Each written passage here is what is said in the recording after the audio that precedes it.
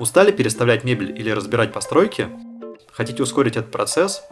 Выход есть. С помощью плагина GUI Mass Remove для DevHack вы можете за несколько секунд разобрать все постройки в выбранной области. Ссылку на скачку вы найдете в описании.